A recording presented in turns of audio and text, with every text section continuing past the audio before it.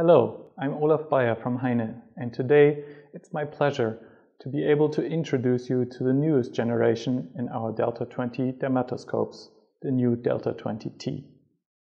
Since its introduction over 10 years ago, the Delta 20 continues to set the standard for the best optics and illumination available.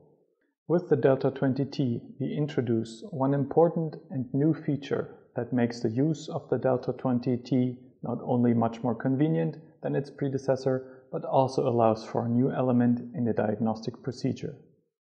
The T in Delta 20T stands for toggle, and by simply pushing on either of the toggle buttons located on the sides of the instrument, the user can switch electronically between polarized and non-polarized illumination. When you turn the Delta 20T on, it always turns on in polarized mode. By then pushing the toggle button, you can switch to non-polarized illumination, or back again.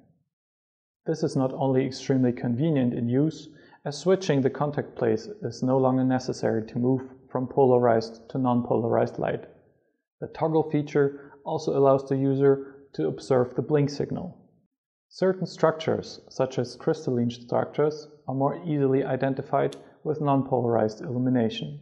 By switching back and forth between the two, these structures literally blink and make them much easier to identify.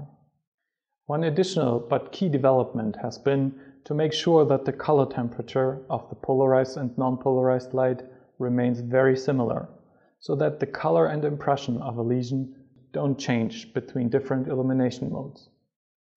The Delta 20T, top of the line optics, high performance Heine LED HQ illumination and new toggle functionality, all in Heine quality to ensure that the Delta 20T performs in 5 and 10 years as it did the very first day the owner took it out of its box.